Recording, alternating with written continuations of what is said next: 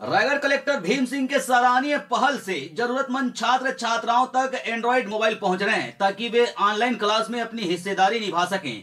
इसी कड़ी में खरसिया विकास खंड के बर्रा संकुल के girls higher secondary school Jobi की पाँच छात्राओं को डिप्टी कलेक्टर ए के सोम के हाथों एंड्रॉइड मोबाइल फ़ोन दिया गया।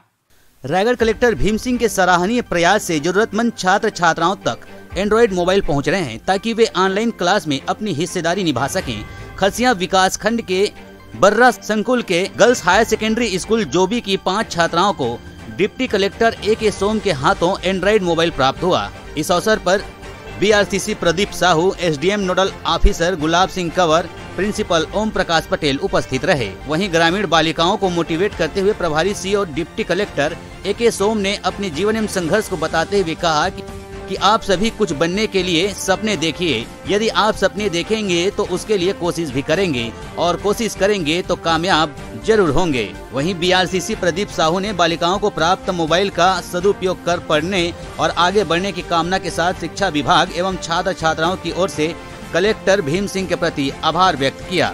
मेरा नाम सुनीता डनसेना है।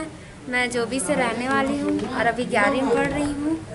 और हम लोग के पास मोबाइल नहीं था तो हम लोग को सर लोग दिए हैं पढ़ने के लिए तो हम लोग इसका सदुपयोग करेंगे। जिला कलेक्ट्रेट के माध्यम से प्राप्त पाँच एंड्रॉयड मोबाइल का वितरण कार्यक्रम बच्चों के साथ संपन्न कराया।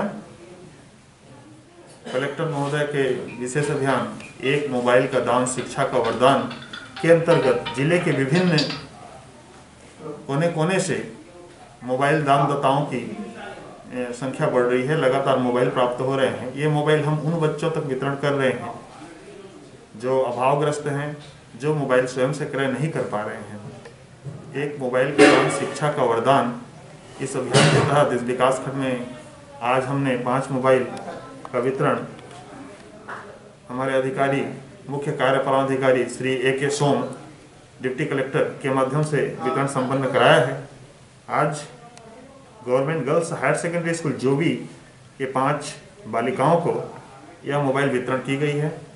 आज हमारे वितरण करने वाले अधिकारी श्री ए के सोम ने बच्चों को संदेश दिया कि इस मोबाइल का वे इस्तेमाल पढ़ाई लिखाई में करेंगे। कैसे संघर्ष करके स्वयं डिप्टी कलेक्टर के पद तक पहुँचे, शासकीय विद्यालय में पढ़ते हुए भी उन्होंने एक अच्छी सफलता पाई। रायगढ़ से सुरजीत कौर की रिपोर्ट एसीएन 24